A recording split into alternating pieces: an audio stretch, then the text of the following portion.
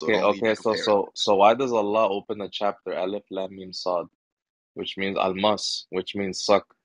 Well, Look at why this does Wait, you just idiot. said No, it it doesn't. properly. You They're said just Alif those are Lam just Mim. Sad, Look and at then you this said idiot. Allah. Oh my Shut the god. fuck up. These Look at guys. this Do you idiot. even know what No, no, no, harakat no, is? no. What Why, is hold uh, on, what's hold the on, Yo. hold on. Arabic? Hold, why why are they all flipping No, no, out? no, Just give no, a no, second. Because you because lied. It doesn't mean she where, where you lied. get that it means suck. Where, where you getting that? Those Because Arabic because letters mean because because because because when you read the Arabic, it's the the letters You just read the Arabic together. as Alif Lam Mim Sad, and then you said Al No, Mas. no, no, Alif no, no. So which one's English, in right? the You just read it right in the properly first, no, and the then you said English, Al Mas. no English no, no, no. Exactly. Oh my God. Well, hold on. The English mm, translation jahil. translates it like that, but the Arabic You a damn liar. No, There the is no Arabic has translation that harakat. translates those letters as that. You are a damn liar. What are You you are talking about? Read the sir. A English. What. English? There is no English that you're translates like. Wait, bro. Joseph, What? Joseph, I have a question. Do you know what harakat is in Arabic? Yes, I know what What is harakat it? is, bro. It was the diacritical marks, man. Okay, so can you read it for me, please? It's almas, bro. I, I read it Read it for me, just like how you read it for me earlier. What Alif verse does it Lam? Mim Sad. That's the right way to say it in the. Almas, harakat. almas. It means to suck. Does it say that in Arabic? Yes, it's not separated. Okay, can you show me the ayah in Arabic for me, and then you start reading reading it out loud for me, please?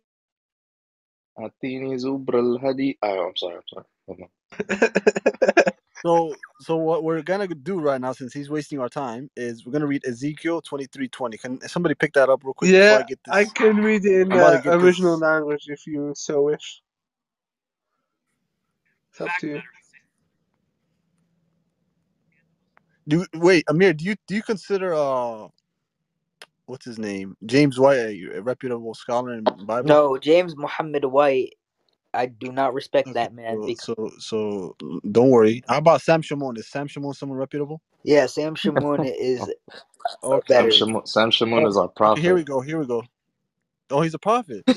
Yeah, he was following the Sunnah of Muhammad. Yeah. quiet, Why be quiet, be quiet. This is now a woman, a Jezebel, who has no fear of God, blames me This is his for her misery. Okay. When she wanted to get nasty, that Assyrian guy that she had an affair with, she would tell me, Get ready, ladies, please. His seven inches is better than your five and a half inches. That's how she used to talk to me. Yo, let me go back. That Assyrian guy that she had an affair with, she would tell me, Get ready, ladies, please. His seven inches is better than your five and a half inches. That's how she used to talk to me. With his wife.